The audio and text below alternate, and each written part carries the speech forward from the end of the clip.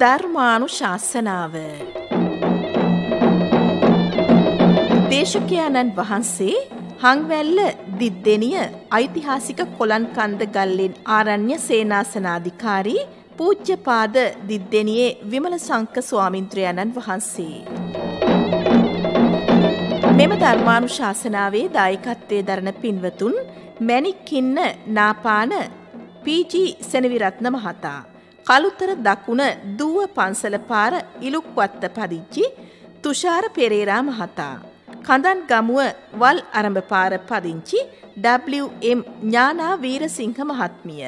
බණ්ඩාරවෙල දූල් ගොල්ල පන්සලේ ගෙදර පදිංචි RD සුමනාවතී මහත්මිය. පානදුර වලාන ගැමුණු මාවතේ සිරි නිමල් නිවසේ පදිංචි හේමා මාලනී නානායක්කාර දියණිය ඇතුළු පවුලේ දූතරුවන්. නුගේ ගොඩ ගංගොඩවිල පැපිලියාන පාර පදිංචි ට්‍රික්සි ජයන්තා නානායක්කාර වෙත්තසිංහ දියණිය සහ උපාලී වෙත්තසිංහ පුතණුවන් ඇතුළු පිරිස. කුරුණෑගල මාස් පොත ඈරිය ගොඩ පදිංචි WM අබේකෝන් මහතා සහ DM රණසිංහ මෑණිකේ මහත්මිය. අතුරුගිරිය මිලේනියම් සිටි කලාප තුනෙහි පදිංචි නෙල්සන් චන්ද්‍රසිරී මහතා. මා කොළ පදිංචි දිශාගී රත්නප්‍රිය මෙනවිය ඇතුළු පවුලේ සියලු දෙනා. සෙදෙහවතුනි දාරුක්කන්දෝපම සූත්‍රයේ ඇසුරු කරගෙනයි දේශකයන්න් වහන්සේ අද ධර්මානු ශාසනාවෙන් කරුණු පහදා දෙන්නේ. ධර්මශ්‍රවනයට පෙර තිසරණ සහිත පංචසීලයේ සමාදන්වීමට නමස්කාරය කියමු. අවසරයි ස්වාමින් වහන්ස. සාධූ සාධූ සාධූ. නමෝ තස්ස භගවතෝ අරහතෝ සම්මා සම්බුද්දස්ස නමෝ තස්ස භගවතෝ අරහතෝ සම්මා සම්බුද්දස්ස නමෝ තස්ස භගවතෝ අරහතෝ සම්මා සම්බුද්දස්ස. බුද්ධං සරණං ගච්ඡාමි. බුද්ධං සරණං ගච්ඡාමි. ධම්මං සරණං ගච්ඡාමි. ධම්මං සරණං ගච්ඡාමි. සංඝං සරණං ගච්ඡාමි. සංඝං සරණං ගච්ඡාමි. ဒ ුතියම්පි බුද්ධං සරණං ගච්ඡාමි ဒ ුතියම්පි බුද්ධං සරණං ගච්ඡාමි ဒ ුතියම්පි ධම්මං සරණං ගච්ඡාමි ဒ ුතියම්පි ධම්මං සරණං ගච්ඡාමි ဒ ුතියම්පි සංඝං සරණං ගච්ඡාමි ဒ ුතියම්පි සංඝං සරණං ගච්ඡාමි තතියම්පි බුද්ධං සරණං ගච්ඡාමි තතියම් තතියම්පි බුද්ධං සරණං ගච්ඡාමි. තතියම්පි ධම්මං සරණං ගච්ඡාමි. තතියම්පි ධම්මං සරණං ගච්ඡාමි. තතියම්පි සංඝං සරණං ගච්ඡාමි. තතියම්පි සංඝං සරණං ගච්ඡාමි. සරණාගමනං සම්පුන්නං ආම බහන්තේ පානාති පාතා වේරමණී සික්ඛාපදං සමාදියා සමාදියාමි පානාතිපාතා වේරමණී සික්ඛාපදං සමාදියාමි. අදින්නාදානා වේරමණී සික්ඛාපදං සමාදියාමි. අදින්නාදානා වේරමණී සික්ඛාපදං සමාදියාමි. කාමේසු මිච්ඡාචාරා වේරමණී සික්ඛාපදං සමාදියාමි. කාමේසු මිච්ඡාචාරා වේරමණී සික්ඛාපදං සමාදියාමි. මුසාවාද සදා වේරමණී සික්ඛාපදං සමාදියාමි. මුසාවාදා වේරමණී සික්ඛාපදං සමාදියාමි. සුරාමේරය මජ්ජපමා දට්ඨානා වේරමණී සික්ඛාපදං සමාදියාමි.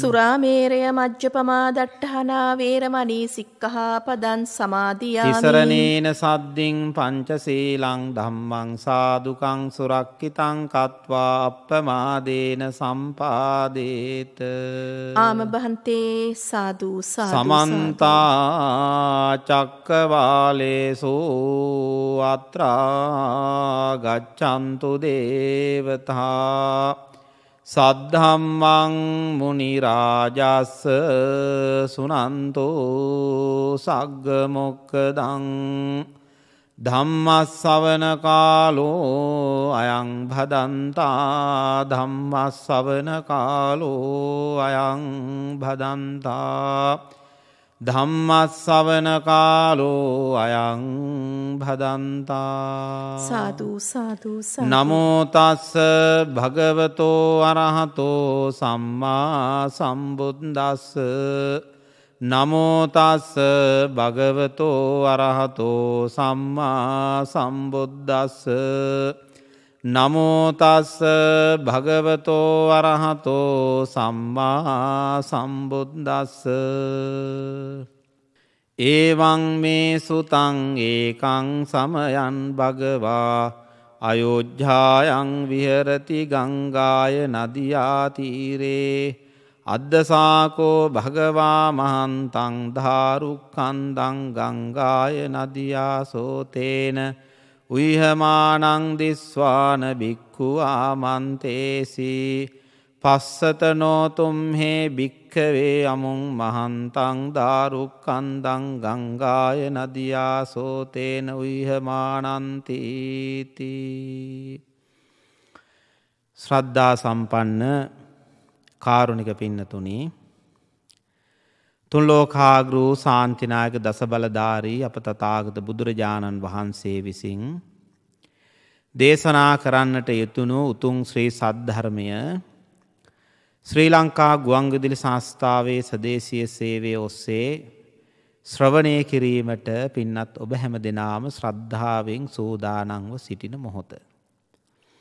අද මේ මොහොතේ මා බලාපොරොත්තු වන්නේ තතාගත බුදුරජාණන් වහන්සේ විසින්ම දේශනා කරන්නට යෙදුණු නිවන් මාර්ගයට ඇතිවෙන්න වූ බාධාවන් කොයියාකාරයටද ඒ බාධාවන් මැඩගෙන යමෙක් නිර්වාණ අවබෝධය ලබාගන්නේද කියන කාරණාවත් මුල් කරගෙන ඒ සංයුත්ත නිකායේ සලායතන වග්ගේට අයිති ධාරුක්කන්දෝපම සූත්‍ර දේශනාව තුළින් ධර්ම දේශනාවක් සිද්ධ කිරීමටයි බලාපොරොත්තු වන්නේ. තතාගත බුදුරජාණන් වහන්සේ පින්නතුනි උපමා උපමේ භාවිතා කල්ලා පුද්ගලයන්ගේට ධර්ම අවබෝධය ලබාදීම සඳහා නොයෙක් ආකාරය උපමා භාවිතා කරපු අවස්ථාවන් මේ සූත්‍ර දේශනා පරිශීලනය කරන ඕනාම කෙනෙකුට දකින්න පුළුවන්කම තියෙනවා. නොයෙක් ආකාරයේ සමාජයේ තිබෙන්න්න වූ ස්වභාධර්මය තිබෙන්න්න වූ ස්වභාවික කාරණා මුල් කරගෙන. ස්වභාවික වස්තුූන් මුල් කරගෙන ඒවා දහම් කරුණුවලට ආදේශ කරගෙන උපමා කරගෙන තතාගත බුදුරජාණන් වහන්සේ ධර්ම දේශනා කරන්නට යෙදුණා. දැ මේ සංයුත්ත නිකායේ සලායතන වක්ගේ ඒවගේ ආසීස වක්ගේ කියන කොටස තමා මේ දාරුක් කන්දෝපම සූත්‍ර දේශනාව තියෙන්නේ. මිට කාලිනුත් අපි දේශනා කරපු දේශනාවක් මේ සලායතන වක්ගේම දේශනා කලා ආසිවිසෝපම සූත්‍රය කියලා. ඉති මේ විදිර මේ එදායි සර්පයෙක් උපමා කරගෙන දේශනා කරපු දේශනා තමයි ආසිවිසෝපම සූත්‍ර දේශනාව. මේ සඳහන් කරන්නේ මේ දරකොටයක් උපමා කරගෙන බුදුරජාණන් වහන්සේ කරපු දේශනාවක් පිළිබඳවයි මේ සූත්‍ර දේශනාවෙන් සඳහන් කරන්නේ. ඉති මේ දේශනාව ශ්‍රවණය කිරීමේදී ඔබට අවසානයේ තේරුම් ගන්න පුළුවන්කම ලැබෙනවා පින්නතුනේ නිවන් මාර්ගය තුළ ගමන් කිරීමේදී මොනතරම් බාධාවන් අපේ ජීවිතයන් වලට තිබෙනවද? මේ බාධාවන් සියල්ල මැඩගෙන යම් කෙනෙක් ඉදිරියට යන්නේ ඔහු ශ්‍රේෂ්ඨ පුද්ගලයෙක් බව බුදුරජාණන් වහන්සේ මේ සූත්‍ර දේශනාවෙන් දේශනා කරන්නට යෙදුණා. එතකොට බුදුරජාණන් වහන්සේ එක්තරා කාලයක අයෝධ්‍යා නගරේ අයෝධ්‍යාවේ අයෝධ්‍යා කියලත් කියනවා. මේ අයෝධ්‍යාවේ ගංගානම් ගඟේ ඒ ගංගානම් ගඟ අසබඩ බුදුරජාණන් වහන්සේ වැඩ සිටින කාලේ මහා සංගරත්නයට මේ ගංයවූරේ වැඩඉන්න අවස්ථාවේදී මේ දරකොටයක් මේ ගංගානම් ගගේ ගසාගෙනෙන අවස්ථාවේදී දැකලා ඒ අනුව බුදුරජාණන් වහන්සේ උපමා භාවිතා කරලා මේ දේශනාව සිද්ධ කරනවා. මේ ජලයේ මේ ගංගානම් ගගේ දරකොටයක් ගසාගෙන එනකොට මේ ගඟක ජලය ගංගානම් ගගේ වුවත් අනෙකුත් ගඟක වුණත් ගඟේ ජලය ගලාගෙන යන්නේ මහා මුහුදට මහා සාගරයට තමා ගසාගෙන යන්නේ. එතකොට මේ ගඟක ගසාගෙන එන්නා වූ යම් වස්තුවක් මුහුදට යෑමට පෙර යම් යම් උපද්‍රවයන්ට පත් වෙනවා. කලාතුරකින් තමයි මේ යම් වස්තුවක් විශේෂයෙන් මෙතන උපමා කළේ මෙතන සඳහන් කරන්නේ දරකොටයක් මේ දරකොටයක් වුණත් මහමුහුදට යන්නේ බොහොම කලාතුරකින් ඒ අතරවාරයේ යම් යම් උපද්‍රවයන්ට පත්වෙච්ච අවස්ථාවන් එහෙම තමයි මේ මෙතන සඳහන් කරන්නේ. බුදුරජාණන් වහන්සේදා මහනෙනී කියලා දේශනා කළා මහනිනී මෙන්න මේ ගසාගෙනෙන දරකොටය උපද්‍රවයන් අටකට පත්වෙනවා මේ අටකට පත් නොවි මහමුහුදට ගලාගෙන යන්නත් පුළුවන්.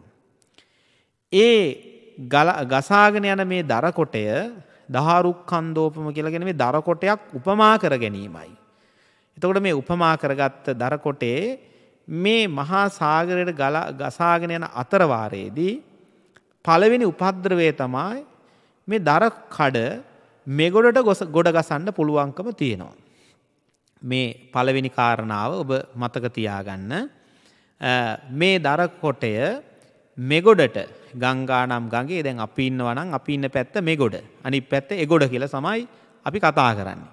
එතන යම්සි විදිහකින් මේ දර කොටය මෙගොඩට ගොඩ ගසන්න පුළුවන්. යන අතරවාරයේදී මෙගොඩට ගොඩ ගසන්න පුළුවන්. ඒක ඒ යන ගමන නවතිනවා මෙගොඩට ගොඩ ගැසූ විට. ඒ පළවෙනි අවස්ථාව. මහනෙනි දෙවෙනි අවස්ථාව නම් මේ දරකොටය එගොඩට ගොඩ ගසන්ඩත් පුළුවන්. අන බලන්න. මේ ගොඩට ගොඩ ගසන්ඩක් පුළුවන්. එගොඩට ගොඩ ගසන්ඩත් පුළුවන් මේ දරකොටය. තුන්වෙනි අවස්ථාව තමයි සමහර අවස්ථාවලදී මේ දරකොටේ මැද ගිලෙන්ඩ පුළුවන්. අපි දකිනවා ගංගාවන් වල ඇලවල්වල දොළවල්වල ජලය අස්සේ වැලි අස්සේ හිර වෙලා සමහර වෙලාවට මැද ගිලිලා කොට ඕන තරම් දරලී ඕන තරම් තියෙන. එතකොට ගඟ ගඟේ ඉදම් මේ ආපු දරකොටේ මේන දරකොටේ මගදි මැද ගිලෙන්ඩ පුළුවන්කම තියෙනවා. එතකොට මුහුදට යන එක නවතිනවා. යම්සි අවස්ථාවකදී යම් ගොඩබිමකට ගසන්න පුළුවන්. ඒ ගැන සාමාන්‍යයෙන් මේ මැද සමහර ගංගාවල දූපත් එහෙම තියෙනවා. ඔය දූපත්න් එහෙම නැත්නම් ගල් පර තියෙනවා. ඒ වගේ ගොඩබිමකට ගොඩ ගසන්න පුළුවන්. ඒවෙනි අවස්ථාවක් තමයි මෙතන සඳහන් කරන්නේ. ගොඩබිමකට ගොඩ ගසන්නත් පුළුවන්කම තියෙනවා. ඒ හතරවෙනි අවස්ථාව තමයි සඳහන් කරන්නේ. අනික් අවස්ථාව තමයි පස්වෙනි අවස්ථාව සඳහන් කරනවා මිනිස්යන්ගේ අල්ලා ගැනීමක් වෙන්නත් පුළුවන්. සමහර අය මිනිස්යන්ටත් ඉතින් දර අවශ්‍යතාවයේ තියෙනවා. එතකොට මේ දරකොටයක් යනකොට ලී දඩුවලට වෙන්න පුළුවන් දර භාවිතාවට වෙන්න පුළුවන් වෙනත් වෙනත් දේවල් වලට වටිනා ලීයක් නම් තවත් ඒකේ ප්‍රයෝජනෙ සඳහා මිනිස්සු දරකොටයක් ගසාගෙන යනකොට ඒක ගඟට පැනලා අරගන්නත් පුළුවන්කම තියෙනවා. මිනිස්යන් අල්ලා ගැනීමටත් පුළුවන්කමක් තියෙනවා. එතකොට එහෙම වෙන්නත් පුළුවන්. එතකොට යම්සි විදිහකින් අමනුෂ්‍යන්ගේ අල්ලා ගැනීමකුත් වෙන්න පුළුවන්. දැන් මේ බුදුරජාණන් වහන්සේ දේශනා කරන්නේ මේ සූත්‍රය තුල මෙගොඩට ගොඩ ගසන්නෙත් නැත්තම් එගොඩට ගොඩ ගසන්නෙත් නැත්තම් ගඟ මැද ගිලෙන්නෙත් නැත්තම් ගොඩබිමකට ඒ කියන්නේ අර මුලින් සඳහන් කළා වගේ දූපතකට වගේ ගල්පරයක් වගේ තියෙන යම්සි ගොඩ බිමක් තියෙනවා නම් ඒ ගොඩබිමකට ගසන්නෙත් නැත්තම් මිනිස්සෙක් ගන්නෙත් නැත්තම් මේවා වෙන්න පුළුවන් කියන කාරණා තමයි සඳහන් නමුත් බුදුරජාණන් වහන්සේ මේ සූත්‍ර දේශනා කරන්නේ මිනිස්සෙක් අල්ලා ගත්තේ නැත්තම් අමනුෂ්‍යයන්ගේ ග්‍රහණයකටපත් උනේත් නැත්තම් ඒ කියන්නේ සමහර අවස්ථාවන් වලදී ඔය දෙව දඬු වලට යම් යක්ෂයෝ අරක්ගෙන ඒවා ඔවුන්ගේ ග්‍රහණයට ගන්න පුළුවන් අවස්ථාවනුත් තියෙන බව බුදුරජාණන් වහන්සේ දේශනා කළා මේ සූත්‍ර දේශනාවෙන්. යම්සි අවස්ථාවකදී දියසුලියකට අහු වෙන්නත් පුළුවන්. එහෙමත් නොවන් වන්නේ නැත්තම් දියසුලියකට අහුවෙන්නෙත් නැත්තම්. ඒ වගේම තමයි මේ දරකඩ යම් සිවිදකින් දිරායාමකට පත්වෙන්නෙත් නැත්තං. එහෙම වෙන්නත් පුළුවන්. පත්වෙන්නෙත් නැත්තං මේ දරකොටය මහාසාගරයට ගසාගෙන යනවා. දැන් ඔන්න මතක තියාගන්න මොනවද මේ ගඟකට ගඟේ සිට ගසාගෙන එන මේ දරකොටය මහාසාගරයට යනකොට මෙන්න මේ උපද්‍රවයන්ට පත්වෙන්න පුළුවන් මේ උපද්‍රයට පත් නොවෙයි නොවී මහාසාගරයට යන්න පුළුවන් මොනවද උපද්‍රව අට ගොඩබිමකට මෙගොඩට ගොඩ ගසන්නෙත් නැත්තං එගොඩට ගොඩ ගසන්නෙත් නැත්තං ගඟ මැද ගිලෙන්නෙත් නැත්තං ගොඩමිමකට යම් දූපතකට ගොඩ ගසන්නෙත් නැත්තං මනුෂ්‍යන්ගේ ග්‍රහණයකට මනුෂ්‍යයෙක් අල්ලා ගත්තෙත් නැත්තං අමනුෂ්‍යයගේ ග්‍රහණයකට පත්වනෙත් නැත්තං දියසුලියකට පත්වනෙත් නැත්තං ඇතුළත කුණුවීමකට පත්වනෙත් නැත්තං මෙන්න මේ දරකඩ මහාසාගරයට ගසාගෙන යනවා. මේ ගසාගෙන යෑම තුළින් මහාසාගරයට ඒ දරකඩ කෙලින්ම කිසිදු බාධාවක් නැතුව යනවා. මේ කාරණාව බුදුරජාණන් වහන්සේ අර දරකොටේ ගසාගෙන අවස්ථාද උපමා භාවිතාවෙන් සඳහන් කරනවා. මෙතන වැඩහිටි ස්වාමීන් වහන්සේලා බුදුරජාණන් වහන්සේගේ විමසන ස්වාමීණී මේ මෙගුරුට ගොඩ ගසන්නේ නෑ කියන්නේ කුමක්ද. එගොඩ ගොඩ ගසන්නෙත් නෑ කියලා කියන්නෙත් කුමක්ද. ගඟ මැද ගිලෙන්නේ නෑ කියන්නේ මොකක්ද. ගොඩමිමකට ගසන්නෙත් නෑ කියන්නේ මොකක්ද.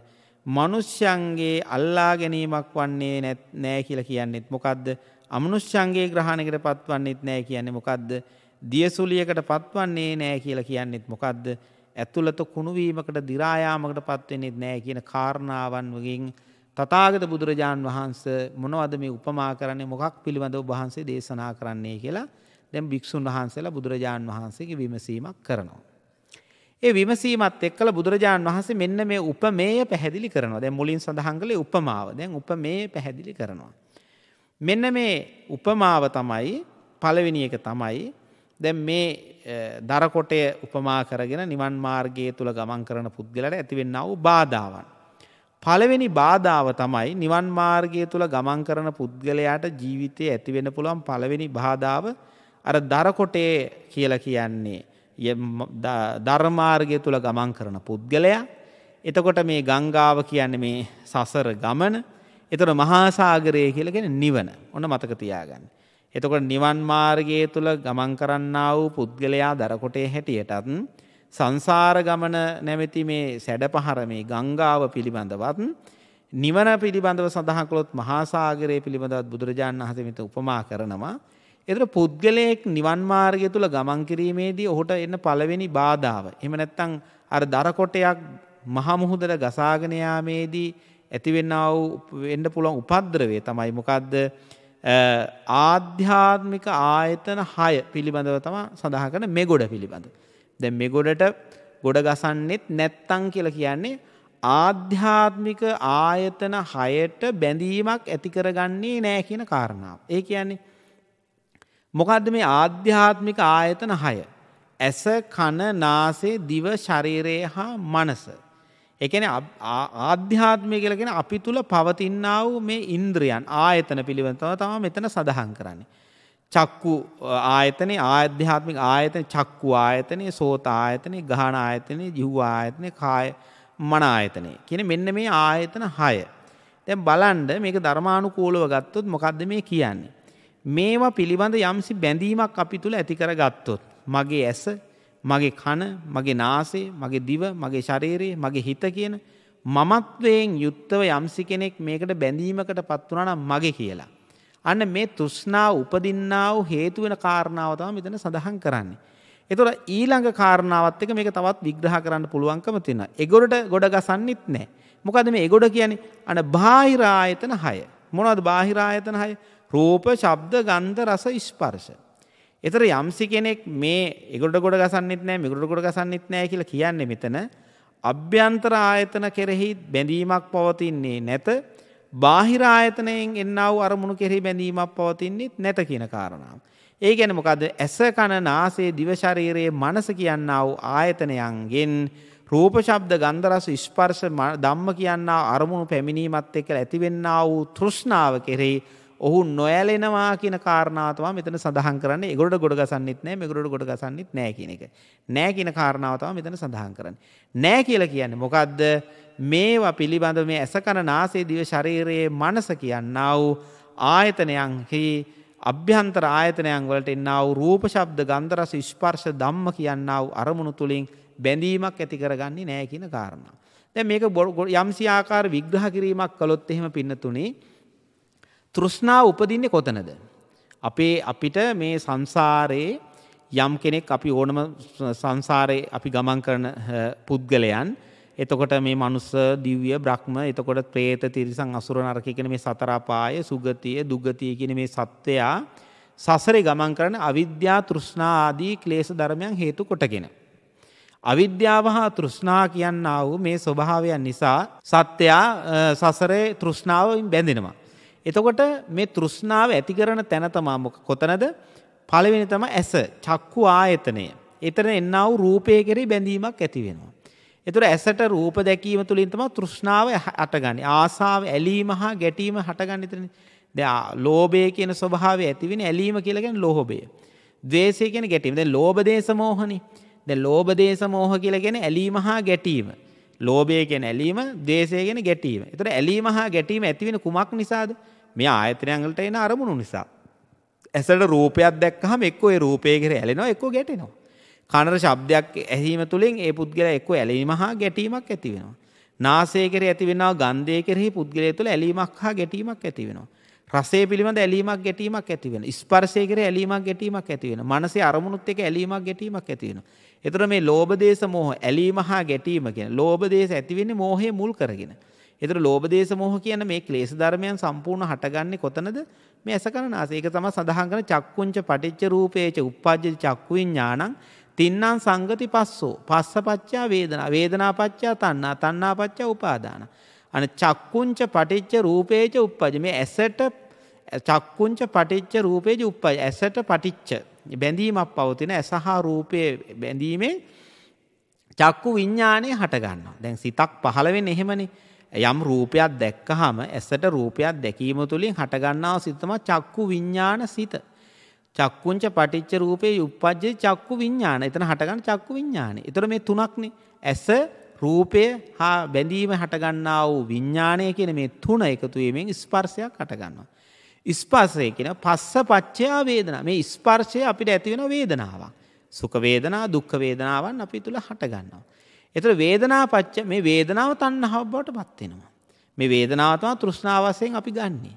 සැපවේදනා විශේෂයෙන් අපි තෘෂ්ණාවසයෙන් බැඳීමක් ඇති කරගන්න. තන්නාපච්චා උපාදාන මේ උපාදානය කියලා කියන මේ ධර්මය සඳහන් කරන කාරණාවතම තදින් අල්ලාගත්ත ස්වභාවේ. එතු තදින් අල්ලාගත්ත ස්වභාවය කියල කියන්නේ ඒ ඒ පිළිබඳ අපි මගේ කියෙන තදින් ගත්ත ස්වභා උපාදාන පච්චා එක භවයකට බව සසර ගමනට ඒක හේතු වෙන සසර ගමනේ ගමන් කරන හේතුව මේකත පටිච් සම්පාදය තුළ සඳහන් කරන්න.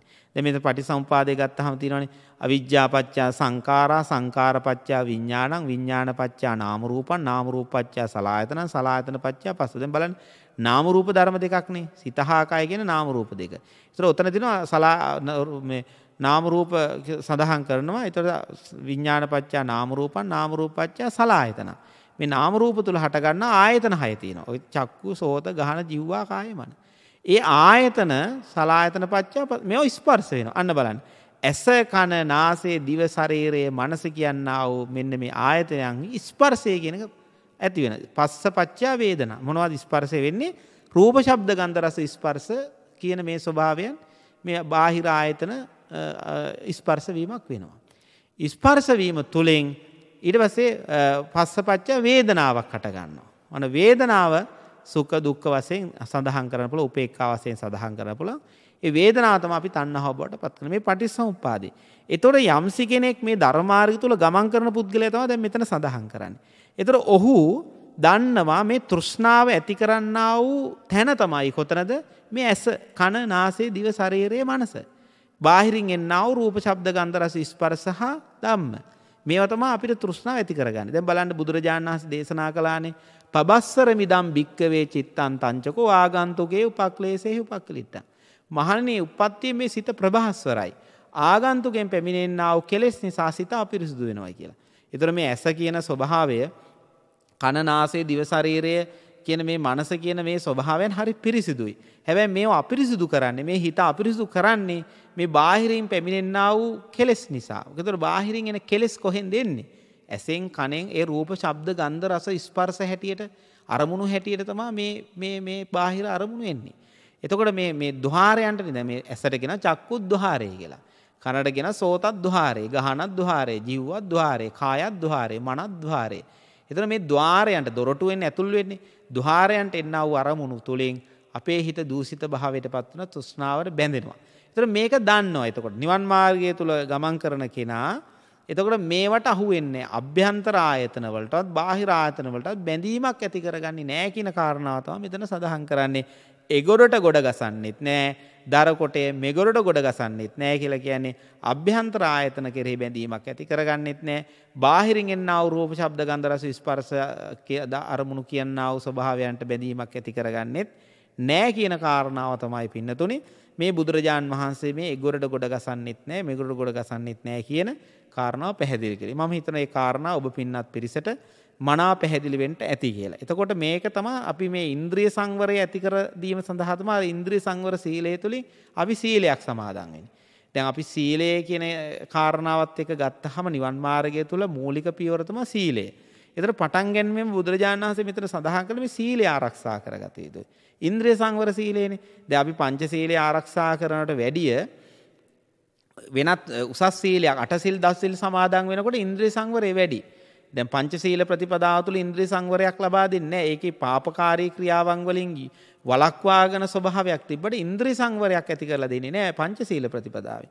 නමුත් අටසිල් සමාදන් වෙච්ච උපාසක උපාසිකා පිරිස දසසිල් සමාදන් වෙච්ච උපාසක උපාසිකා පිරිසට දින තව වෙනම ශික්ෂාවන් කිහිපයක්. එතකොට මොනවද විකාල භෝජන. එතකොට ඒකින් කියන්නේ ඉන්ද්‍රිය සංවරයක් ඇති කළ දෙනවා. දිව පිනවීම. එතකොට නච්ච ගීත වාත විසූක දස්සන. ඒකින් කියන්නේ මොකද මේ ඇස කන නාසය දිව ශරීර ඉන්ද්‍රයන් පිනවන්න එපා. ඒ යම් සීමාවක් තියාගන්න. මැදුම් පිළිවෙතනේ. දැන් කණ්ඩ එපා බලන්න එපා කියන එක නෙමෙයි මේ සඳහන් කරන්නේ.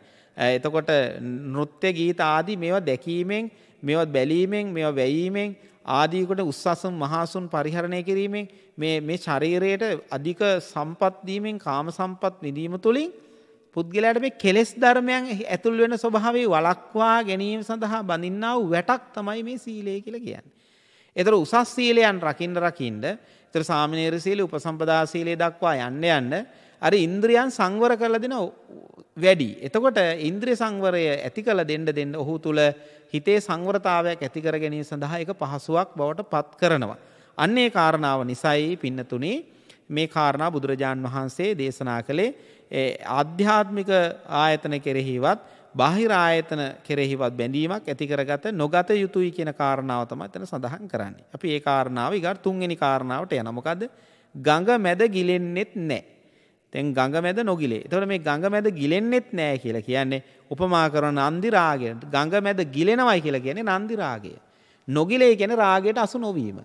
එතකොට මේ රාගය කියන එක වෙනම දැන් බලන්න දැන් පංච මේ කාම සම්පත් විදීම පිළිබඳ ගත්තාම නන්දි රාගයට විශේෂ තනක් දෙනවා.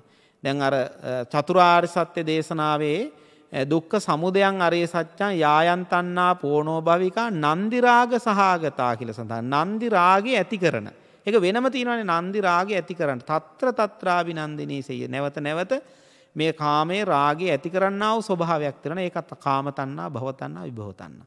එතකොට මේ නන්දි රාගය කියන ස්වභාවය විශේෂයෙන්ම ලබා දීලා තියෙනවා. දැන් මේ රාගය කියන්නේ විශේෂ වූ ක්ලේශ ධර්මයක්. දැන් අපිට ලෝභය කියලා කියනකොට ලෝභාදික සිතුවිල්ලක් ඇති වෙනවා කියලා කියන එකෙන් රාගය කියන ස්වභාවයත් වෙන් කරලා ගන්න පුළුවන් ස්වභාවය. දැන් ලෝභයටම අදාළ කාරණාවක් තමයි රාගය කියලා කියන්නේ. හැබැයි ලෝභයටම නෑකම් කියන්නා වූ ස්වභාවයක් වුණත් රාගය කියන ස්වභාවය වෙනම බුදුරජාණන් වහන්සේ මේ සූත්‍ර දේශනාවලින් වෙන් කළා තියෙනවා. දැන් ධම්සප් පැවතුම් සූත්‍රයේදීත් ඒක වෙන් කරලා සඳහන් කරලා තියෙනවා. දැන් මේ දාරුක්කන්දෝන් සූත්‍රයේදීත් දැන් ගඟ මැද ගිලෙනවා. ඒ කියන්නේ මේ රාගයට අහු වෙනවා. ඒතර ගඟ මැද නොගිලෙයි කියලා කියන්නේ රාගයට අසු වෙන්නේ නැහැ. ඒතර යම් දැන් අපි හිතමු අපි යම් කෙනෙක් සතුටු වෙන අවස්ථා තියෙනවා. දැන් අපි ප්‍රීති උත්සවයකට මංගල උත්සවයකට සහභාගී වුණාට අපි බොහොම සතුටු වෙනවා. ඒතර එතන රාගයක් නෙමෙයි එතන තියෙන්නේ. අපි හිතමුකෝ එතන දැන් යම්සි විදිහකින් අපි සංගීත සංදර්ශනයක් නරඹනවා. අන්න එතනදී අපි විනෝද වෙනවා. එතන තියෙන්නේ එතන ලෝභ මූලික සිත් පහළ වෙනවා. නමුත් රාගික සිතුවිල්ල කියන එක ඊට වැඩි වෙනස් දෙයක්. එතකොට අපි හිතමුකෝ යම්සි කෙනෙක් ප්‍රිය ආහාරයක් අනුභව කරනවා. අන්න එතකොට රාගය කියන ලෝභ මූලික සිතක් එතන පහළ වෙන්නේ. ලෝභ මූලික අභිධර්මයේ සිත් අටෙන් එකක් තමයි පහළ වෙන්නේ. නමුත් රාගය කියන ස්වභාවය වෙනම එතන වෙනම ඉස්මතු කරන ස්වභාවය. මොකද රාගය කියලා කියන්නේ යම් ස්ත්‍රියක් නම් පුරුෂයෙක් කෙරේ පුරුෂයක් නම් ස්ත්‍රියක් කෙරේ ඒ පිළිබඳ ඇතිවෙන්නා වූ ඇල්ම. අන්න ඒක තමයි රාගය කියලා මෙතන මතු කරන්නේ. ඉතින් ඒ නිසා මේ රාගය කියන ස්වභාවය කෙලෙස් ධර්මයේ කාමුකත්වයට පවතිනා වූ කැමැත්ත. ඒ ස්පර්ශයෙන් දැන් මෙතන ගොඩක් දුරට ඇස කන නාසය දිව ශරීරය කියන්නා ඉන්ද්‍රියන් පහේ මේ ස්පර්ශයේ විඳින්නා වූ තියෙනා වූ කැමැත්තක් දක්වා යනවා මේ රාගය කියන නන්දි රාගය කියන ස්වභාවය. ඒ නිසා මේක ඊටමත් බැරෑරුම් ක්ලේශ ධර්මයක්. මේ ක්ලේශ ධර්මය දැන් ඔය ආසීසෝම සූත්‍රයෙන් සඳහන් කරන්නේ අර වදකයෙක් හැටියට ගත්තාම වෙනම වදකයෙක් හැටියට වදකයෝ පස් දෙනෙක් එවනවා. පුද්ගලයා පසුපස. එතකොට ඒ සොරෙක් පසුවස වදකයෝ පස් දෙනෙක් කියවනවා. ඒ වදකයෝ පස් දෙනාට උපමා කළේ බුදුරජාන් වහන්සේ රූප මේ රූප වේදනා සංඥා සංකාර විඥාන කියන මේ පංච උපාදානස්කන්ධය. තවත් වෙනම විශේෂ වදකයෙක් යොමු කරනවා කියලා සඳහන් කරන ඒ තමයි නන්දි රාගය. එතන මෙතනත් මේ නන්දි රාගයට විශේෂ අවස්ථාවක් ලබා දීලා තිනවා. මොකද මේ රාගික සිතුවිල්ල ඇති කරගත්තොත් නිවන් මාර්ගය තුල ගමන් කරන බොහෝ පිරිසක් අපි දැකලා තියෙනවා. භික්ෂුන් වහන්සේලා භික්ෂුණී උපාසක උපාසිකා කියන මේ සියලු දෙනාම අතීතයේ හා වර්තමානයේ රාගික ස්වභාවය නිසා මේ දහම් මාර්ගයෙන් ඉවතට ගිය අවස්ථාවන්. ඒක බොහෝ තැන්වලදී අපි දකින්න දින සමාජයේ ජීවත් වෙන ඔබ අප කවුරුත් ඒක දකිනවා. මේ රාගික සිතුවිලි නිසා පුද්ගලයන්ගේ ධර්මාර්ගයට යොමු වෙච්ච මාර්ගය සම්පූර්ණ අවහිර වෙච්ච අවස්ථාවන් තියෙනවා. ඒක ඒ කියන්නේ හරියට ගඟ මැද ගිලෙනවා වගේ.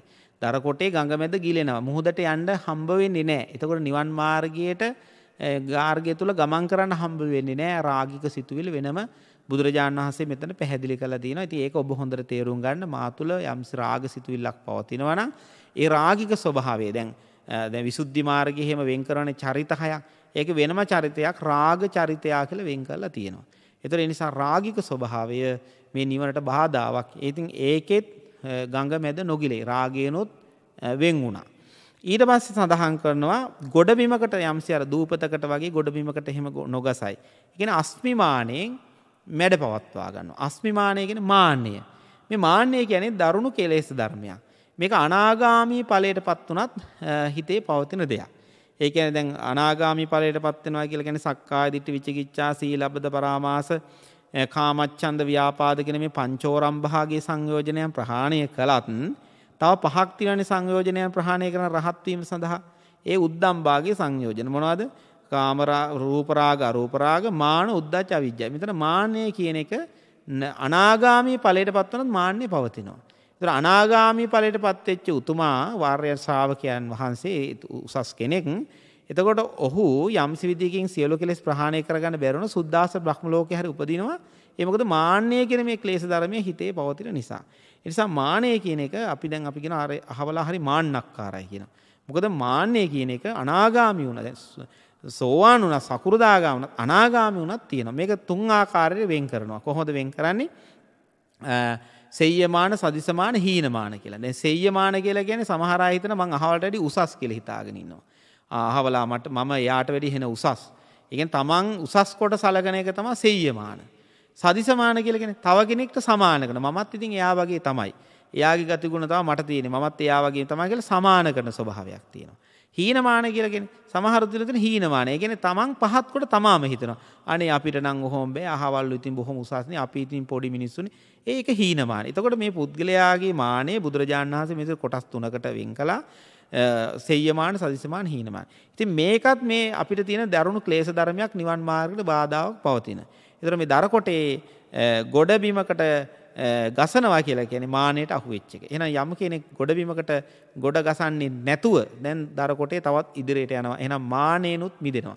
ඉතින් මානය දුරු කරගන්න විශේෂ භාවනාවක් බුදුරජාණන් වහන්සේ දේශනා කළා. ඒ තමයි පින්නතුනේ මරණානුස්සති භාවනාව. ඒ කියන්නේ ජීවිතයේ මාන්‍යක්කාර සිතුවිලි යම් මට්ටමක පාලනය කරගන්න ඔබ නිතරම මරණය මෙනෙහි කරන්න. ජීවිතය අනියතයි මරණය නියතයි. දැන් මට ඊට කලින් කාරණාව ගත්තොත් රාගික සිතුවිලි පහළ වෙනවනේ. අන්න ඒ සඳහා ඔබ කළ යුත්තේ අසුබ වඩන්න. මේ ශරීරය පිළිබඳ සුබ වශයෙන් බලන්න රාගය ඇති වෙන්නේ. ශරීරය අසුබ වශයෙන් දකින්න ඕනේ. හැම වෙලාවෙම නවරදුරකින් කුණු වැగిරෙන්නා වූ අසුබ වූ අසාර වූ ශරීරයක් මේක. අසූචි පෙරූ කලයක් වගේ කියලා මේ අපේ අසුබ භාවනාවල සජ්ජායනාවල එහෙම සඳහන් කරනවා. ඒතර ඒ වගේ සුබ වශයෙන් ගන්න අසුබ වශයෙන් ගන්නකොට රාගේ යටපත් කරගන්න පුළුවන්. ඒතර මානෙ යටපත් කරගන්න පුළුවන් මරණානුසතිය ආදී වඩනකොට. ඊට පස්සේ තවත් මේ අපිට කාල වේලා මදි නිසා අපි මේ ඉක්මනට මේක කාරණා පැහැදිලි කරනවා. මිනිස්යාන්ගේ අල්ලා ගැනීමකුත් නැතිව දැන් මනුෂ්‍යයන්ගේ අල්ලා ගැනීමක් නොමැති කියන කාරණා අපි බොහෝසෙයින් මේක වැදගත් කාරණාවක්. මෙතන සඳහන් කරන්නේ ගිහියන් සමග සම්බන්ධතාවයන්ගේ වෙන්ව කියන එක. දැන් අපේ භික්ෂු ජීවිතය වනත් අපේ භික්ෂුන් වහන්සලා මේ පුද්ගලි වසින් කාටවත් ගහන්නාව මේ කාරණාවක් නෙමේ නමුත් මේ භික්ෂු ජීවිතය ගත කරන විවිධ වෙනත් කාරණා සඳහා භික්ෂු ජීවිතය යොදාගන්නවා. යම් දේශපාලන කටයුතු වෙන්න පුළුවන් සමාජී වශයෙන් කටයුතු වෙන්න පුළුවන් නොයි සමාජ සේවා කටයුතු වෙන්න පුළුවන් අන්න බලන්න නිවන් මාර්ගය සම්පූර්ණ වෙනස් වෙනවා. මොකද අපි විශේෂයෙන් තේරුම් ගත යුතු දෙයක් තමයි භික්ෂුන් වහන්සේලා පැවිදි භාවයට පත් උනේ සංසාර දුකින් අත මිදී නිවන් අවබෝධ කරගන්නවා කියන වාක්‍ය කියලානේ අපි පැවිදි වෙන්නේ. සබ්බ දුක්ඛ නිස්සර නිබ්බාන සත්‍ය කරණත්තා ඊමං කාසාවං ගහිත්වා පබ්බාජේත මම්බන්තේ අනුකම්පං උපාදාය කියලා. ස්වාමීනී මේ මට පැවිද්ද දෙන මේ සිවුරු ටික පොරවන්න මගේ සසර දුකින් අත මිදීම සඳහා කියලා. ඒතර යම්සි විදිහකින් මේ පැවිදි ජීවිතය ගත කරනකොට මේ ගිහියන්ගේ සමාජීය කටයුතු සඳහා අහුවෙන අවස්ථා තියෙනවා. ඒක බුදුරජාණන් වහන්සේ දේශනා කළා මේ සූත්‍රය තුල. ඒ කියන්නේ මිනිස්සුන්ගේ දුක සැප බලන එක, මිනිස්සු සමග වාසය කරන එක, මිනිස්සුන්ගේ දුක් වෙනකොට දුක් වෙනවා, මිනිස්සු සතුට වෙනකොට සතුට වෙනවා. මේ සඳහන් කරලා තියෙන මේ සූත්‍ර දේශනාව තුළ. එතකොට මේ යම් යම් දැන් දේශපාලන කටයුතු, සමාජීය කටයුතු, ජාතික කටයුතු කියලා මේ ජාතිය කියන මෙන්න මේ කාරණා මුල් කරගෙන ඒ භික්ෂු ජීවිතේ ඒ පැත්තට යොමු වෙච්ච ගමන් අර නිවන් මාර්ගය සම්පූර්ණයෙන්ම අවහිර වෙන. අන්න ඒක තමයි උපමා කළේ මොකද මිනිස්යන්ගේ අල්ලා ගැනීමක් නොමැති කියලා කියන්නේ භික්ෂුව කියලා කියන්නේ තමාගේ කටයුත්ත මොකද්ද නිවන් මාර්ගය තුල ගමන් කරන එකයි. එහෙනම් නිවන් මාර්ගය තුල ගමන් කරනවා කියලා කියන්නේ අන්න ඒ කාරණාවෙනුත් අර දර කොටේ මිනිස්යන්ගේ අල්ලා ගැනීමකුත් නැහැ කියලා කියන්නේ නිවන් මාර්ගය තුල ගමන් කරන කෙනා ඒ මිනිස්යන් සමග ජීවත් වෙනකොට ගිහි සමාජයත් එක්ක බොහොම පරිස්සමෙන් ඔවුන් සමග කටයුතු කරලා නිවනට යොමු වෙච්ච සිතකින් වාසය කරන කාරණාව තමයි තථාගත බුදුරජාණන් වහන්සේ එතන දේශනා කරන්නේ. අමනුෂ්‍යයන්ගේ ගැනීමක් නොමැතිව කියලා කාරණාවට උපමා කළේ දිව්‍ය සම්පත් බ්‍රහ්ම සම්පත් ආදී එවැනි ලෞකික සැප සම්පත් බලාපොරොත්තුවෙන් පැවිදි ජීවිත ගත කරන අවස්ථාවන් තියෙනවා. සමහර භික්ෂුන් වහන්සේලා හෝ ගිහියන් වුණත් වෙන්න පුළුවන් දිව්‍ය ලෝකයේ දිව්‍ය සම්පත් ලබන්න. බ්‍රහ්ම ලෝකයේ බ්‍රහ්ම සම්පත් ලබන එක ධ්‍යාන උපදව ගන්න. සසරේ තව ටිකක් සැපවත් ජීවිත ගත කරන්න. තව ටිකක් සැප විඳලා නිවන් දකින්නවා කියන අදහස ඇති කරගෙන කුසල් කරලා එහෙම නැත්නම් කාමාවචර කුසල කර්මයන් සිද්ධ කළා දිව්‍ය සම්පත් මනුස්ස සම්පත් ප්‍රාර්ථනා කරන ස්වභාවය. ඉතින් මෙන්න මේ තුලින් අර නිවන් මාර්ගය ඇහිරෙනවා. ඒතර අමනුෂ්‍යයන් ඒ කාලේ යම් යම් ඔය ගස් කොළන් වලට දර වලට ඒවට අමනුස්ස බලපෑමුත් තියෙනවා. ඉතින් ඒක තමයි මේ බුදුරජාණන් වහන්සේ දේශනා කළේ. එතකොට ඒතන උපමා කළේ මොකද්ද? අර ගිහි පැවිදි ජීවිතයේදී වෙනත් ලෞකික බලාපොරොත්තු මුදුන්පත් කර ගැනීම සඳහා පැවිදි ජීවිත ගත කරන නිවන කල් දාලා. අන්න ඒ தත්ත්වයටපත් නොවීමක් තියෙනවන යම් කෙනෙක් අන්න මමුස්යන්ගේ ග්‍රහණයටපත් නොවීමත් කියන කාරණාව නිවන් මාර්ගයට බාධාක් නොවී හේතු වෙනවා කියලා බුදුරජාණන් වහන්සේ දේශනා කරනවා. ඊළඟ කාරණා දිය සුලියකට අසු නොවන්නේද? දැන් හත්වෙනි කාරණේ සඳහන් කර දිය සුලියකට අහු වෙන්නෙත් නැහැ. එයා. අන්න දිය සුලියට අහු වෙන්නේ නැහැ කියන උපමා කළේ මොකද පංචකාමයට ගොදුරු නොවීම. දැන් පංචකාමයට ගොදුරු නොවීම කියලා කියන්නේ දැන් භික්ෂු ජීවිතය ගත කරනකොට අපිට සිව්පසය හොඳින් ලැබෙනකොට චීවර පිණ්ඩපාත චීවර පිණ්ඩපාත සේනාසන ගිලාන ප්‍රත්‍යගෙන සිව්පසදානය උසස් ලෙස ලැබෙනකොට අර නිවන් මාර්ගය තුළ ගමන් කිරීමේදී පොඩි වෙනසක් වෙනවා අර පස්කම් සැපට යම්ස්යාකාරය ගිජුවීමක් ගොදුරුවීමකට පත්වෙනවා. අන්න ඒක ගිහියනුත් වෙන්න පුළුවන් පැවිද්දා වෙන්න පුළුවන් භික්ෂු භික්ෂුණී උපාසක උපාසිකා කියන සිව්වනක් පිරිසම එහෙම තමයි. බොහෝ දුරට දකිනවා මේ භික්ෂු ජීවිතය ගත කරන යනවා හොඳට. නමුත් අර ලාභ සත්කාර පංචකාම සම්පත් ලැබෙනකොට අර නිවන් මාර්ගයෙන් ඈත් වෙලා ඒ පැත්තට යොමු වෙනවා. ඉතින් බුදුරජාණන් වහන්සේ දේශනා කළානේ අර වනවාසික තිස්ස පොඩි හාමුදුරන්ට අඤ්ඤාහි ලාභූ පනිසා අඤ්ඤා නිබ්බාන ගාමිනී. ඒ කියන්නේ නිවන් මාර්ගය එකක්, ලාභ ලබන මාර්ගය එකක් කියලා. ඉතින් ඒ වගේ අපි මේ අවස්ථාවේදී තේරුම් ගත යුතුයි නිවන් මාර්ගය මොකද්ද, ලාභ ලබන මාර්ගය මොකද්ද කියන කාරණාව. එතකොට මේ දියසුලියකට අහු වෙන්නේ නැහැ. කියන්නේ පංචකාමයට ගොදුරු වෙන්නේත් නැහැ. ඇතුළත කුණුවීමකුත් නැතුව ඇතුළත කුණුවීමක් නැහැ කියලා කියන්නේ මොකද්ද මෙතන දුසිල්වත් භාවයෙන් තොරව සිල්වත් ජීවිතයක් බවට පත් කරගන්න ඕනි. දැන් දුසිල් භාවයට පත් වුණ සීල සමාධි ප්‍රඥානි. සීලේ පාරිශුද්ධ භාවයක් නැත්තම් අපිට සමාධියකට ප්‍රඥාවකට පත් වෙන්න බෑ. එහෙනම් දුසිල් භාවයෙන් මිදීම තුලින් පුළුවන්කම ලැබෙනවා ඒ යම්සි කෙනෙකුට නිවන් මාර්ගය තුල ගමන් කරන්න. මෙන්න මේ උපද්‍රවයන් අටට ලක් නොවුනොත් අර දරකොටේ මහා සාගරයට ගියා වගේ සත්‍යයා සංසාර ගමනේ ගමන් කරන අපි මෙන්න මේ උපද්‍රවයන්ට පත් නොවුනොත් අපිට නිවන සාක්ෂාත් කරගන්න පුළුවන්ය සම්‍යා දෘෂ්ටි ඇති කරගන්න පුළුවන්ය කියලා කියන්නේ චතුරාර් සත්‍ය පිළිබඳ අවබෝධය ඇතිකර ගන්න පුළුවන්ගය කියන කාරණාවතම මෙතන පැහැදිලි කරන්න. ඉතින් මේ පිළිබඳ මේ ශ්‍රවණය කරලා බුදුරජාණන් වහන්සේ අසල හිටපු නන්ද කියල ගොපල්ලෙක් ස්වාමීනී මම ඔබහන්සේ කෙරෙහි පැහැදිලා මට මේ ධර්මය කෙලේ පැහැදීමක් ඇතල මට පැවිදි උපසම්පදා ලබා දෙන්න කියලා බුදුරජාණන් වහන්සේ ඉල්ලීමක් කරනවා. ඒ වෙලාවේ නන්ද ඔබ ගවයන් හිමිකරුට බාරදී පැමිණෙන කියලා. එකන ඔහු යම්සි ගවයෙක්ට භාරව ඉන්න කෙනෙක් කොපල්ලෙක් කියලා ගැන ටස ඔහු ඒ කාරණාව අනුව ඒ ඉෂ්ට සිද්ධ කල බුදුරජාණන් වහන්සේ ළඟට ඇවිල්ල පැවිදි උපසම්පදා වෙලා රහත් භාවය ලබනවා. තින් ඒ ඒ කාරණාව තුළින් ඔහු නිර්වාණ අවබෝධය ලබා ගන්නවා. ඉතින් මේ දාරුක්කන්දෝම සූත්‍රය ඔබට තවදුරටත් දැන ගැනීමට අවබෝධ කර ගැනීමට අවශ්‍යනං සංයුත්ත නිකාය සලායතන වගේ තියෙන මේ ධාරුක්කන්දෝ සූත්‍රය බලන්න ඉතිං අමාට ලැබී තියෙන කාලේ එපමණයි. ඉතිං ඒ අනුව ඔබ කල්පනා කරන මෙන්න මේ උපද්‍රවයන්ට අපි පත් නොවී පංචකාම සම්පත්වලට ගිජ්ජු නොවේ. අපි යම්සි නිවන් මාර්ග තුළ ගමන් කිරීම සඳහා මෙන්න මේ කාරණ උපමා කරගෙන මේ දරකොටය කිසිදු මේ කියන්න වූ අටවිද ගැටලුවලට පත් නොවී. එකන ගඟක ගලාගෙන යන ගසාගෙන මේ දරකොටය මෙන්න උපද්‍රයන්ට පත් නොවී මහ මුහුදට ගියා. වගේ අපිට මේ නිවන් මාර්ගය තුළ මෙන්න මේ කියන්න වූ ප්‍රශ්න ගැටලු අපේ ජීවිතයන්වලට කෙලෙස් නිසා ඇතිවෙන්න පුළුවන්. මේ උපද්‍රවයන්ගින් දුරුවෙලා නිවනට පත්වෙන්නේ සඳහා අපි හැම කෙනාටම මේක උපකාරයක් බවට පත් කරන මේ ධර්මය උපකාරයක් බවට පත් කරගෙන හැම දෙනාම මේ සංසාර ගමනේ දුක් නිමා කරගෙන නිර්වාණ අවබෝධය සාක්ෂාත් කර ගැනීමට විරවීරිය වඩන්ඩ උත්සාහය දියුණු කරගණ්ඩ හැම දෙනාට මේ තුළින් නිර්වාණ අවබෝධයම සැලසේවා කියන ප්‍රාර්ථනාව ඇති කරමින් අද මේ ධර්ම දේශනාවේ දායකත්වය ගෙන කටයුතු කරන පින්නතුන්ගේ නම් සඳහන් කිරීම දැන් මේ මොහොතේ සිද්ධ කරනවා. පසුව ඒ හැම දෙනාටම සමස්ත වසයෙන් පින් අනුමෝදනාව සිද්ධ කරන්න බලාපොරොත්තු වෙනවා. සාධූ සාධූ සාධූ අවසරයි ස්වාමීන් වහන්ස මෙම ධර්මානු ශාසනාවේ දායකත්වය දරන පින්වතුන්ගේ අරමුණු සහ ප්‍රාර්ථනාවන් දැනට වසර විසි එකකට පෙර ජනවාරි මස විසි අට වන දින හදිසි අනතුරකින් පරලෝ සැපත් නලීන් සෙනවිරත්න පුතුටත් හදිසි අනතුරුවලින් පරලෝ සැපත් ගම්පහ රවීන්ද්‍ර කෑගල්ලේ සිරිමිවන් යන ඥාතිපුත්‍රයින් සහ පරලෝ සැපත් සෝමාදිසානායක අයිරින් ජයසේකර ප්‍රේමතිලක සහ සුමනතිලක යන සොයුරු සොයුරියන්ටත් සංසාරගත පරලෝසපත් සියලුම ඥාති මිත්‍රාදීන්ටත් පින් අනුමෝදන් කර නිවන් සුව ප්‍රාර්ථනා කිරීම සඳහාත් සුජීවත්ව සිටින දෙපාර්ශ්වයේම ඥාති හිත මිත්‍රාදීන්ට සෙත් පැතීම සඳහාත් දායකත්වයේ දරනවා. මැණික්කින්න නාපාන පදිංචි පීජී සෙනවිරත්න ස්වර්ණා ලියනගේ යන දෙමව්පියන් සහ උත්පල අමිල සොහයුරන් දෙදෙනා. මෙම ධර්මදානමය කුසල බලයෙන් පෙරේරා සහ සුබසිංහ පවුලේ මෙන්ම පරලෝසපත් සියලු ඥාති මිත්‍රාදීන්ටත් සියලු සත්වයින්ටත් පින් අනුමෝදන් කර නිවන් සුව ප්‍රාර්ථනා කිරීම සඳහාත් සුජීවත්ව සිටින ඥාති මිත්‍රාදීන් මේ පින් අනුමෝදන් වී සසර ගමන කෙලවර වී නිර්වාණ අවබෝධය ලැබේවායි යන ප්‍රාර්ථනාවෙන් යුතුවත් දායකත්වයේ දරනවා කළුතර දකුණ දූව පන්සල පාර ඉලුක්වත්ත පදිංචි තුෂාර පෙරේරා මහතා. සුජීවත්ව සිටින RPS රාජපක්ෂ තම ස්වාමි පුරුෂයාට පුඤ්ඤා අනූෂා ගයන යන දියණිවරුන් තිදෙනා සහ බෑනාවරුන්ටත් මොනුබුරු මිනිබිරියන්ටත් සහෝදර සහෝදරියන්ටත් සියලු යහපත් කටයුතු සාර්ථක වීමට සහ නිදුක් නිරෝගී ජීවිතයකට සෙත්පතා දායකත්වයේ දරනවා.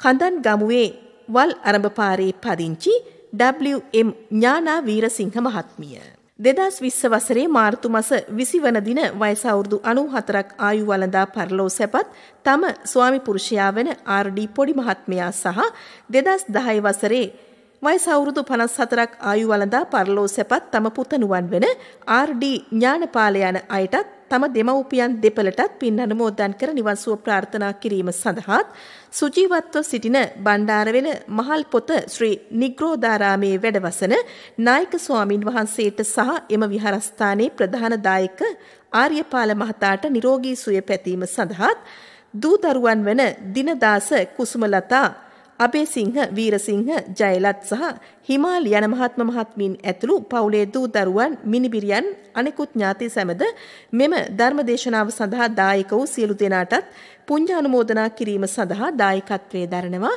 බණ්ඩාරවෙල දූල් ගොල්ල පන්සලේ ගෙදර පදිංචි දැනට 88 වන වියේ පසුවන ආර්.ඩී. සුමනාවතී මහත්මිය. මීට වසර 47කට පෙර පරලෝසපත් වූ පානදුර වලාන ගැමුණු මාවතේ සිරිනිමල් නිවසේ පදිංචිව සිටි ඩී.ඒ. නානායක්කාර පියාණන්ට සෝමාවතී වීරකෝන් මෑණියන්ට ප්‍රේමසිරි රාජා නානායක්කාර සොහිරාට සහ තිස්ස හපන්ගම ආරච්චි ඥාති සොහිරාටත් පියාගේ දෙමව්පියන් වන බාරොන් නානායක්කාර සීයා සහ කුරුප්පු ආරච්චිගේ ආච්චි අම්මා ඇතුළු සංසාරගත සියලුම පරලොසපත් ඥාති මිත්‍රාදීන්ට පින් අනුමෝදන් කර නිවන් සුව ප්‍රාර්ථනා කිරීම සඳහාත් චිත්‍රා හපන්ගම ආරච්චි සොයුරිය ඇතුළු සුජීවත්ව සිටින සියලු ඥාති මිත්‍රාදීන්ට නිදුක් නිරෝගී සුවය සහ චිරජීවනයේ ප්‍රාර්ථනා කිරීම සඳහාත් සියලු දූ දරුවන්ගේ අනාගත අභිවෘද්ධිය සහ චිරජීවනයේ ප්‍රාර්ථනා කිරීමේ අරමුණින් යුතුවත් දේශකයන්න් වහන්සේට සෙත් පැතීම සඳහාත් සියලු දෙනාම පතන්න අවබෝධයකින් නිර්වාණ අවබෝධය පිණිස මෙම පුණ්‍ය කර්මය හේතු වේවා යන අරමුණින් යුතුවත් දායකත්වයේ දරනවා. පානදුර වලාන ගැමුණු මාවතේ සිරිනිමල් නිවසේ පදිංචි හේමා මාලනී නානායක්කාර දියණිය ඇතුළු පවුලේ දූතරුවන්. ජනවාරි මස 29 වන දින පරලෝ සැපත් එඩ්වින් වෙත්තසිංහ තම දයාබර පියාණන්ට මෙම ධර්ම දානමය කුසල බලයෙන් නිර්වාණ අවබෝධය ලැබේවා යන ප්‍රාර්ථනාවෙන් යුතුවත් ධර්ම ශ්‍රවණය කරන සැමට නිර්වාණ අවබෝධය පිණිසත් දායකත්වයේ දරනවා නුගේගොඩ ගංගොඩවිල පැපිලියාන පාරේ පදිංචි ට්‍රික්සි ජයන්තා නානායක්කාර වෙත්තසිංහ දියණිය සමග උපාලි වෙත්තසිංහ පුතණුවන් සමග පවුලේ සියලු දෙනා. W.M. අබේකෝන් සහ D.M. රණසිංහ මැණිකේ වන තමන්ගේ යුගතිවියේ 63 වන වසර සපිරෙන අද දින සිට රෝගාබාධවලින් තොර ඉදිරි කාලයක් සඳහා ත්‍රිවිධ රත්නේ ආශිර්වාදය ලැබේවා යන ප්‍රාර්ථනාවෙන් යුතුවත් තමන්ගේ එකම දියණිය බෑනනුවන් මුණුපුරු මිනිබිරියන් සහ එම මුණුපුරු මිනිබිරියන්ගේ පවුල්වල සමාජිකයින්ට සුබ අනාගතයක් සඳහා ත්‍රිවිධ රත්නේ ආශිර්වාදය ලැබේවා යන අරමුණින් යුතුවත් දෙපාර්ශවයේ පරලෝසෙපත් මව්පියන්ට පින් අනුමෝදන් කර නිවන් සුව ප්‍රාර්ථනා කිරීම සඳහාත් දායකත්වයේ දරනවා කුරුණෑගල මාස් පොත ඈරිය ගොඩ පදිංචි WM අබේකෝන් මහතා සහ DM රණසිංහ මැණිකේ මහත්මිය. විශ්‍රාමික පරිවාස නිලධාරී නෙල්සන් චන්ද්‍රසිරි මහතා සහ විශ්‍රාමික ගුරු PKD සීලවතී මහත්මියගේ දෙමව්පියන් වන කොටපිටිය ජේමිස් අප්පුහාමි මහතා සහ ND සෙනේහාමි මෑණියන්ටත් ගොළුවා මුල්ලේ විසූ බ්‍රම්පි අප්පුහාමි මහතාට සහ සුබසිං ආරච්චිගේ නිමල් හාමි මහත්මියට සහ දෙපාර්ශවයේ පරලෝ සැපත් සහෝදර සහෝදරියන්ට හිතවතුන්ට පින් අනුමෝදන් කර නිවන් සුව ප්‍රාර්ථනා කිරීම සඳහා සුජීවත්ව සිටින දරුමුණුබුරන්ට නිදුක් නිරෝගී සුවය ප්‍රාර්ථනා කිරීමේ අරමුණින් යුතුවත් දායකත්වයේ දරනවා. අතුරුගිරිය මිලේනියම් සිටි කලාප තුනෙහි පදිංචි නෙල්සන් චන්ද්‍රසිරි මහතා. අද දිනට ජන්මදිනය සමරන දිශාගී රත්නප්‍රියටත් ඇයගේ දෙමව්පියන් සහෝදරිය ඇතුළු පවුලේ සැමටත් නිදුක් නිරෝගී සුව දීර්ඝාෂ ලැබීමටත් ඉක්මන් භවයකදී නිවන් අවබෝධය පිණිසත් දේශකයන්න් වහන්සේට චිරජීවනය නිර්වාණ අවබෝධය පිණිසත් අපවත් වී වදාළ නා උයනේ අරිය ධම්ම ස්වාමින් වහන්සේ ඇතුළු සියලු අපවත් වී වදාළ ස්වාමින් වහන්සේලාට නිවන් අවබෝධය පිණිසත් රටතේ වෙනුවෙන් දිවිපිදූ සියලු රණවිරුවන්ටත් කොරෝනා වසංගතයෙන් මියගිය සියලු දෙනාටත් තම නමින් පරලෝ සැපත් සියලුම දෙනාටත් පින් අනුමෝදන් කර නිවන් සුව ප්‍රාර්ථනා කිරීම සඳහා දායකත්වයේ දරනවා. මා කොළ පදිංචි දිශාගේ රත්නප්‍රිය මෙනවිය ඇතුළු පවුලේ සියලු දෙනා. දැන් පුණ්‍යානුමෝදනා කිරීම සඳහා ගෞරවනීය දේශකයන්න් වහන්සේට නැවතත් ආරාධනා කරනවා. හොඳයි බොහෝ පිරිසක් ධර්ම දේශනා සඳහා දායකත්වයේගෙන කටයුතු කරලා තියෙනවා. මේ පින්නත් හැම දෙනාම බොහොම ශ්‍රද්ධාවෙන් උතුම් සබ්බදානන් ධම්මදානන් ජිනා තියෙන බුදු වදනට අනුව දානයන් අතර උසස් දානේ ධර්ම දානමේ කුසලයයි කියන අවබෝධය ඇති කරගෙනයි මේ ධර්ම දේශනාවේ දායකත්වය ගැන කටයුතු කරන්නේ.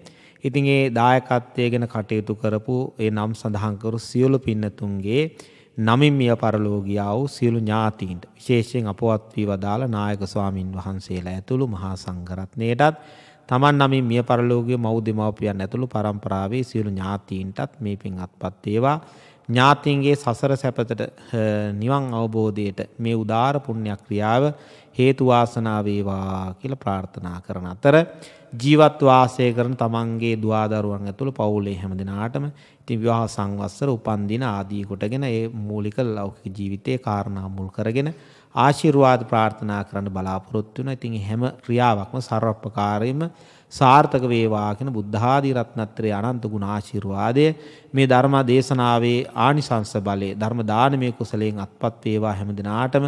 නිදුක් නිරෝගී සුවය දිගාසිරි සම්පන්නිය සැලසේවා කියන ප්‍රාර්ථනාව ඇති කරගෙන දායකත්වයේ ගැන කටයුතු සිළු දෙනාටමත් සහ සම්බන්ධ වුණා හැම දිනාටමත්. ගුවන්විදුලි සංස්ථාවේ සභාපතිතුමා ඇතුළු ආගමික අංශයේ සිළු දෙනාටමත් සියලු දෙනාටමත් මේ පින් අත්පත් වේවා. හැම දෙනාට මෙලොව වශයෙන් සැනසීම උදා වේවා පරලෝක වශයෙන් සුගතිය සම්පත් ලැබේවා සියලු දෙනා බලාපොරොත්තු වෙන අපි හැම දෙනාම ප්‍රාර්ථනා කරන බෝධියකින් අමා මහ නිවනින් සැනසීමට මේ උදාාරතර පුණ්‍ය ක්‍රියාවේ ආනිසංස බල හේතු වාසනා වේවා කියන ප්‍රාර්ථනාවෙන් අපි දෙවියන්ටත් පින් දෙමු. ආකා සට්ඨාච බුම්මට්ඨා දේවා නාගා මහිද්దికා පුඤ්ඤන්තං අනමෝදිත්වා චිරන් රක්칸තු ලෝක සාසනං ආකාසට්ඨාච බුම්මට්ඨා දේවා නාග මහිද්దికා පුඤ්ඤන්තං අනමෝදිත්වා චිරන් රක්칸තු දේශනං ආකාසට්ඨාච බුම්මට්ඨා දේවා නාග මහිද්దికා පුඤ්ඤන්තං අනමෝදිත්වා චිරන් රක්칸තු ශාවකංති ධර්ම ශ්‍රවණානිසංසෙන් හැමදිනාටම උතුම් චතුරාර්ය සත්‍ය ධර්මයේම අවබෝධ වේවා. සාදු සාදු සාදු සැදැහැවතුනි ඔබ සවන්දුන් එම ධර්මානුශාසනාව පැවැත් වූ දේශකයාණන් වහන්සේ හංවැල්ල දිද්දෙනිය ඓතිහාසික කොළන් කන්ද ගල්ලෙන් ආරණ්‍ය සේනාසනාධිකාරී පූජ්‍යපාද දිද්දෙනියේ විමල සංක ස්වාමින්ත්‍රයණන් වහන්සේ. දේශකයණන් වහන්සේට නිදුක් නිරෝගී සුව දීර්ඝායුෂ ප්‍රාර්ථනා කරමින් සාදුකාරයක් පවත්වමු. සාදු සාදු සාදු.